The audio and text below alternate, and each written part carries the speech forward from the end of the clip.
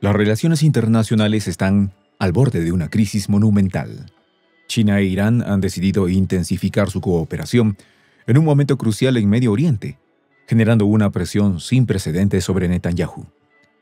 Los últimos ataques en Gaza han desatado una ola de condenas globales. Ante este escenario, Pekín se ha posicionado claramente del lado palestino, exigiendo el cese inmediato y permanente de las hostilidades, apoyando a Irán y dejando claro que ya no están dispuestos a tolerar la agresión de Netanyahu.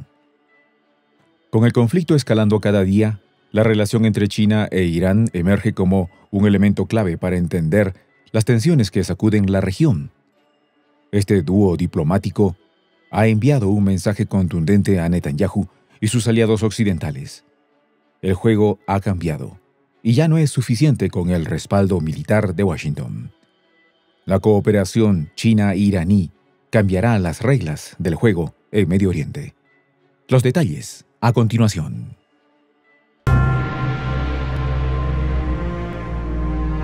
¿Quieres saber cómo se puede fundar la patria grande? Mira el final del video. China ha sido consistente en su posición sobre el conflicto en Gaza, haciendo ahora un llamado a un alto el fuego inmediato y permanente en una reciente reunión trilateral entre China, Irán y Arabia Saudita, Wang Yi, ministro de Relaciones Exteriores de China, enfatizó que la solución al conflicto debe pasar por el respeto de los derechos palestinos y la implementación del principio de dos estados. Este esfuerzo diplomático muestra la creciente influencia de China en una región que tradicionalmente ha estado dominada por la presencia estadounidense. El vínculo entre China e Irán no es nuevo pero en el contexto actual ha adquirido un nuevo nivel de relevancia. Desde que se firmó el histórico Acuerdo de Cooperación entre ambos países en 2021. La colaboración ha abarcado desde el desarrollo económico hasta la defensa mutua, con China defendiendo abiertamente la soberanía y seguridad iraní en el Consejo de Seguridad de la ONU. El eje Pekín-Teherán se fortalece a medida que ambos países rechazan las políticas occidentales en la región. La reciente declaración de China en apoyo a Irán tras el ataque de un alto líder de la resistencia palestina fue contundente.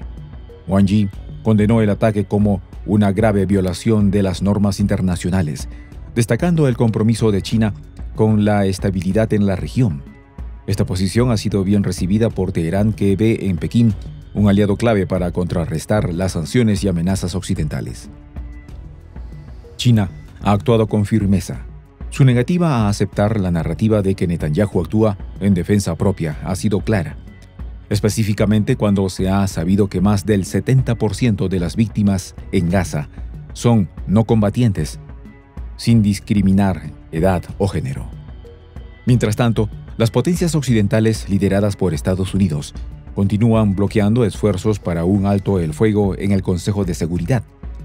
Pekín, en cambio, ha hecho múltiples llamados a una solución justa, promoviendo un proceso de paz que incluya a todas las partes y no solo a los intereses de Occidente. El papel de China en este conflicto va más allá de la diplomacia. La decisión de usar sus lazos con Irán y Arabia Saudita para fomentar la paz en la región a través de su primera reunión trilateral, muestra su interés en mantener la estabilidad. Esta intervención directa también refuerza su rol como mediador entre potencias regionales, desafiando la influencia que Estados Unidos ha mantenido históricamente en Medio Oriente. Al mismo tiempo, el apoyo de China a Irán también tiene un trasfondo geopolítico. Ambos países están vinculados a través de la Organización de Cooperación de Shanghái y otros mecanismos multilaterales. Este tipo de alianzas fortalece su posición frente a las sanciones y amenazas impuestas por las potencias occidentales, creando un contrapeso significativo a la influencia de Washington en la región. En este sentido, es crucial destacar el impacto de la cooperación militar entre China e Irán. A medida que la tensión aumenta en el Golfo Pérsico, el intercambio de tecnología militar entre ambas naciones refuerza la capacidad de Irán para defenderse frente a posibles agresiones. Este apoyo ha permitido a Irán mantener su influencia en Siria, Irak y el Líbano. expandiendo su esfera de control mientras desafía directamente a Israel. Mientras tanto, en Gaza, la situación humanitaria es catastrófica. La ayuda humanitaria es insuficiente y las organizaciones internacionales están al borde del colapso. China, junto con sus aliados en el Consejo de Seguridad, ha exigido repetidamente la apertura de corredores humanitarios y el cese inmediato de las hostilidades para salvar vidas. Netanyahu, por su parte, ha optado por ignorar estos llamados internacionales. Con el respaldo total de Estados Unidos, ha intensificado sus operaciones militares utilizando armamento de alta tecnología proporcionado por Occidente. Sin embargo, a pesar de este apoyo, la presión internacional liderada por China e Irán está comenzando a hacer mella en la opinión pública global, que cada vez más se vuelve en contra de las acciones en Gaza. La determinación de Irán en apoyar a Gaza y sus movimientos aliados no ha disminuido. Al contrario, con el apoyo estratégico de China, Teherán ha consolidado su influencia en la región. Esta alianza se ha intensificado tras la reciente reunión en la que China reafirmó su compromiso con la defensa de la soberanía iraní y con el mantenimiento de la estabilidad regional. Además, se ha subrayado que cualquier intervención en Gaza debe respetar los derechos del pueblo palestino, una postura que desafía directamente los intereses de Netanyahu y Estados Unidos. China, como miembro permanente del Consejo de Seguridad de la ONU, ha insistido en que todas las resoluciones que involucran a Gaza sean implementadas de manera completa y efectiva. Sin embargo, ha criticado duramente la postura de Estados Unidos, que sigue proporcionando un apoyo incondicional a Netanyahu. Según los analistas chinos, este respaldo absoluto es lo que ha impedido que se logren acuerdos de paz duraderos, lo que prolonga la devastación en la franja de Gaza. Mientras tanto, en Irán, la cooperación con China se ha extendido más allá del ámbito diplomático. El intercambio tecnológico y militar ha proporcionado a Irán un escudo protector frente a las amenazas externas. Pekín ha facilitado el acceso a sistemas de defensa avanzados, lo que ha permitido a Teherán continuar sus operaciones militares en zonas conflictivas como Siria y el Líbano. Además, China ha aprovechado su relación con Arabia Saudita para fortalecer su rol mediador en el conflicto. La reciente reunión trilateral entre China, Irán y Arabia Saudita ha sido un paso fundamental hacia una nueva etapa de cooperación en Medio Oriente. Wang Yi subrayó que la estabilidad de la región no puede ser manipulada por potencias externas, enviando un claro mensaje a Occidente de que el futuro de Medio Oriente debe ser decidido por los países de la región, no por actores extranjeros. La influencia de China en las organizaciones internacionales ha quedado clara. Desde que comenzó la guerra en Gaza, Pekín ha utilizado su poder para presionar por resoluciones que favorezcan la paz y la ayuda humanitaria, enfrentándose a las maniobras estadounidenses para proteger a Netanyahu de sanciones. El embajador chino ante la ONU, Fu Kong, ha reiterado la urgencia de implementar un alto el fuego y respetar las resoluciones internacionales destacando que la paz en Gaza no puede lograrse mientras se siga ignorando el sufrimiento del pueblo palestino. Los esfuerzos de China para consolidar la paz en Gaza no se limitan a las negociaciones diplomáticas. Pekín ha incrementado la asistencia humanitaria a la región, enviando suministros médicos y alimentos para aliviar la catastrófica situación humanitaria. La estrategia de China se basa en ofrecer ayuda tangible mientras presiona a Netanyahu e insta a la comunidad internacional a adoptar un enfoque más justo en el conflicto. A pesar de estas iniciativas, las tensiones en la región no cesan. La amenaza de una expansión del conflicto a otros países vecinos como el Líbano sigue siendo alta. Los enfrentamientos en la frontera norte donde otro aliado de Irán ha lanzado ataques se ha intensificado. La posibilidad de una guerra a mayor escala en Medio Oriente se cierne sobre el horizonte mientras China e Irán continúan alineándose para enfrentarse a las políticas de agresión de sus oponentes. En este contexto, la relación entre China e Irán representa una amenaza significativa para la hegemonía de Occidente en la región. La combinación del poder económico y diplomático chino con el dominio militar y la influencia regional iraní ha creado un nuevo eje de poder que está redefiniendo la dinámica geopolítica de Medio Oriente.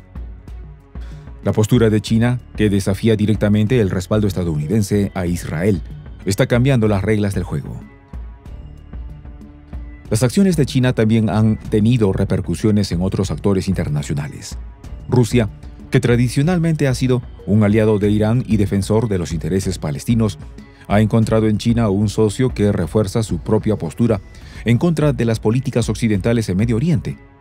Junto con estos países, están creando un bloque de poder que desafía la influencia de Estados Unidos y sus aliados en la región.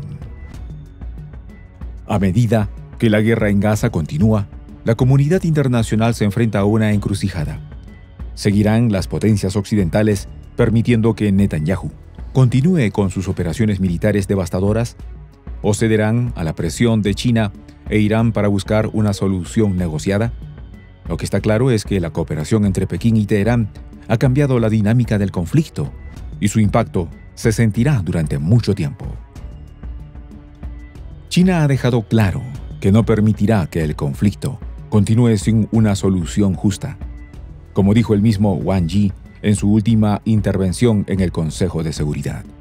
La paz en Gaza solo será posible si se respetan los derechos del pueblo y se pone fin a la agresión.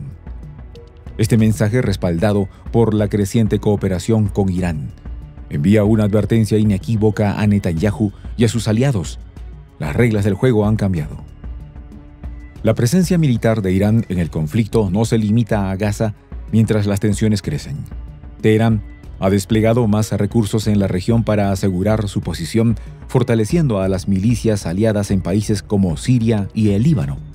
El incremento de ataques por parte de las alianzas iraníes en la frontera norte es una muestra clara de que Irán está dispuesto a jugar todas sus cartas en este conflicto, sabiendo que cuenta con el respaldo de Pekín.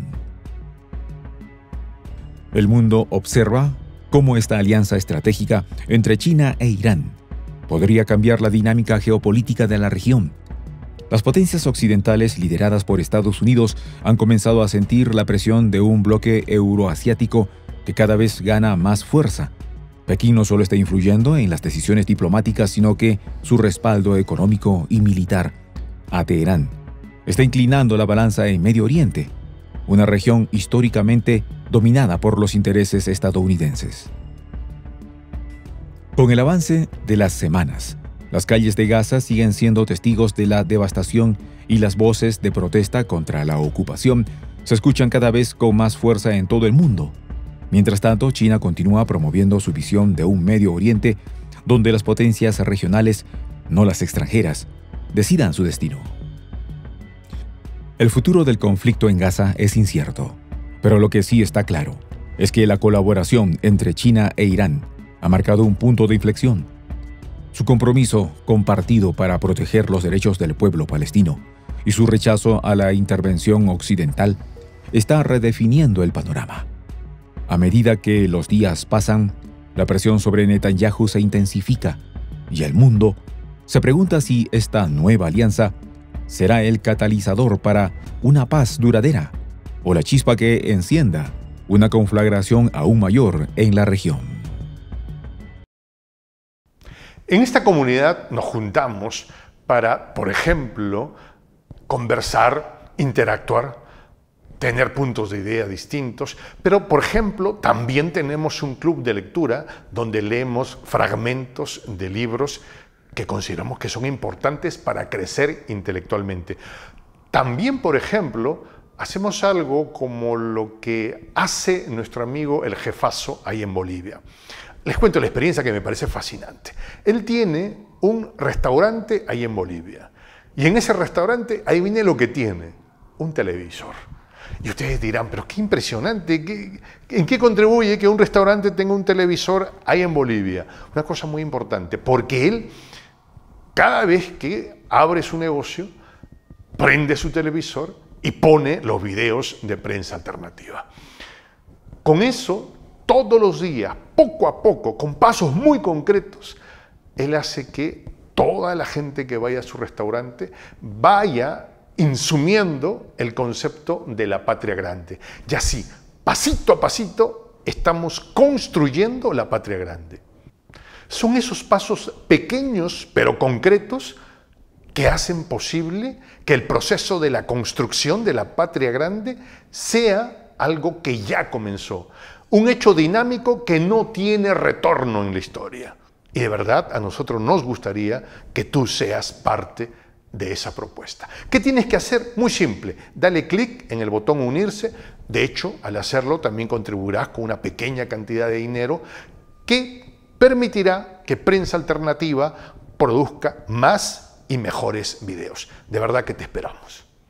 La patria grande se va a construir cuando tú y yo y toda la gente de buena voluntad de América Latina y el Caribe comencemos a ser comunidad.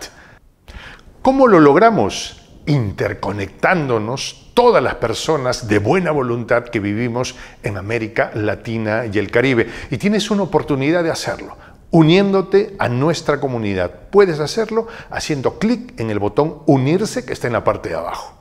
Soy el J, Juan José del Castillo, director del canal Prensa Alternativa. Si quieres ser parte de la comunidad de la Patria Grande, suscríbete a nuestro canal. Si es que quieres que te lleguen las notificaciones cada vez que subimos un video, activa la campanita. Si quieres apoyar a nuestro canal económicamente, puedes hacerlo a través de PayPal. El enlace está en la descripción del video. A nombre del equipo de prensa alternativa, me despido con esta expresión en el quechua milenario, Tupananchis Kama, cuya traducción es hasta volvernos a encontrar.